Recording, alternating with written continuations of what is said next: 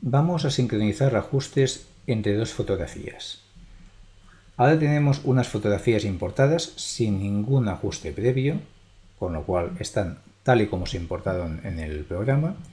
Me voy al módulo de revelar y yo quiero aplicar unos ajustes idénticos a las dos fotografías, a la que el águila me está mirando frontalmente y a la que está de perfil.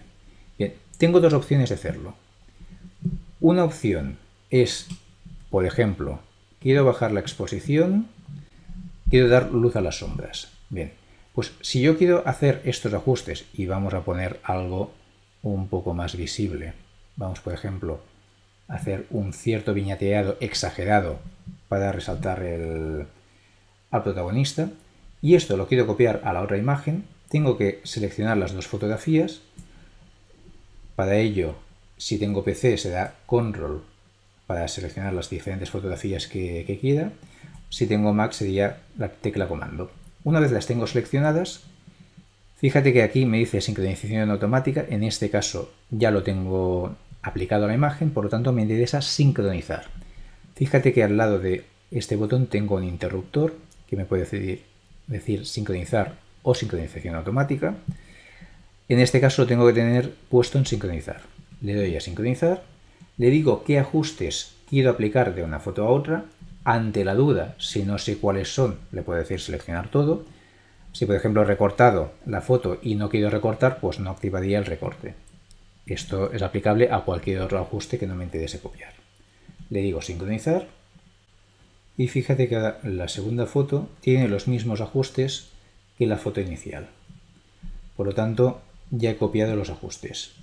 Bien, pero ahora quiero hacerlo algo de una forma más, más directa. Por ejemplo, aquí tenemos estas dos fotografías.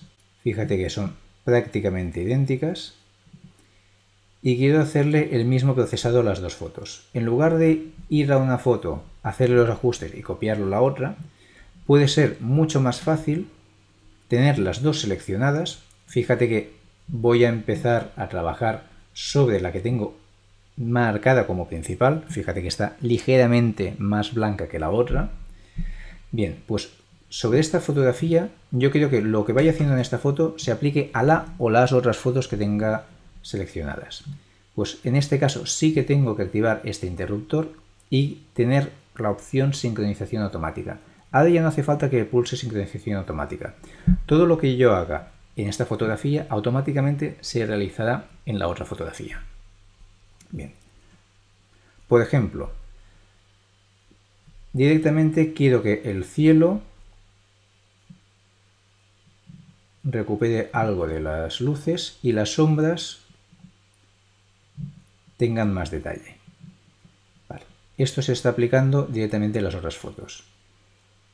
Vamos a hacer un ejemplo exagerado. Si yo aquí le caigo la exposición o le doy muchísima exposición, automáticamente se aplica a las dos fotos. Entonces, solo es un ejemplo, evidentemente. Ahora, por ejemplo, me interesa ir, si tengo la versión Lightroom CC, me interesa ir a efectos y usar borrar neblina ya que aunque esta fotografía no tiene en exceso neblina, pero borrar neblina me satura y me contrasta más la, la iluminación. Bien, ahora los negros los abro un, un poquito más y le quiero dar un cierto valor de claridad, por decir algo. Vale, pues estos valores que le he aplicado a esta imagen no hace falta que vaya a la otra y los vuelva a aplicar. Ahora bien, si esta imagen está un pelín más oscura que la anterior, desactivo en este punto la sincronización automática para que no le afecte a la otra foto, le doy un pelín más de exposición para que las dos tengan la misma base de, luz y sigo trabajando. Vuelvo a activar sincronización automática y ahora continúo haciendo los valores que me interese sobre la fotografía. Por ejemplo, vamos a hacer un pelín de viñeteo, por decir algo. O la quiero pasar a blanco y negro. Pues Directamente las dos fotografías irán haciendo exactamente lo mismo. Con lo cual, fíjate que con la sincronización automática, todo lo que yo vaya haciendo en la fotografía principal se aplicará a la o las fotografías seleccionadas. Y por otro lado, si un valor no se aplica al resto de fotografías, puedo desactivarlo. Desactivamos sincronización automática, por ejemplo, vamos a recortar. Y por poner algo un poco bestia, quiero este encuadre, pero solo en esta foto las otras fotografías no les afecta. Continuamos y a partir de aquí cualquier otro valor que le aplique a la imagen continuará aplicándose a todas las fotografías simultáneamente. Espero que este vídeo te sea útil y si quieres estar al día de mis vídeos, por favor suscríbete al canal y estarás siempre recibiendo la información puntualmente. Gracias y hasta próximos vídeos. Si tienes cualquier duda, en mi web encontrarás tutoriales, cursos o clases particulares para poderte ayudar. Gracias y hasta próximos tutoriales.